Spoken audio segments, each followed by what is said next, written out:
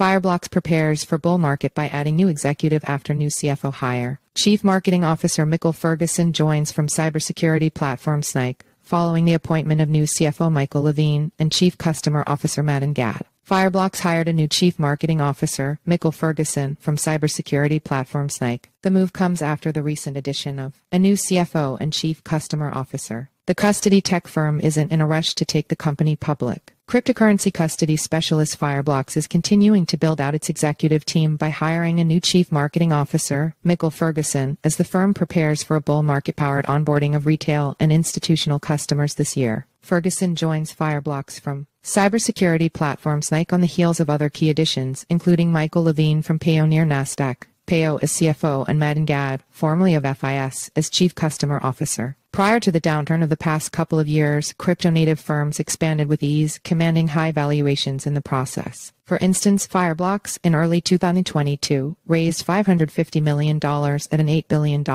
valuation. The firm has been making significant hires over the past 12 months in anticipation of a sturdy growth trajectory returning to crypto, said Fireblocks CEO Michael Shaulov. We didn't know exactly when the market would start expanding again, but it was clear to us it would happen sooner or later, Shaulov said in an interview. Our mission in supporting crypto is not around where the price of Bitcoin is going to be, but the underlying usage of crypto rails for payments, tokenization, and big brands. Beefing up the C-suite, particularly the addition of a CFO from a big U.S. listed fintech, might suggest Fireblocks has its goal set on appealing to the public markets in the future, as the likes of Circle and possibly Galaxy may hope to soon do. Shaulov pointed out that Fireblocks is very well funded with most of the money raised still in reserve, but said he will be watching other crypto firms looking to list in the U.S. closely. It's reasonable that we will see more crypto companies that have the right financials IPO. We don't have any urgency to do it, but it's definitely something from an optionality standpoint we will be looking at, not this year, but maybe in two years or three years or something like that.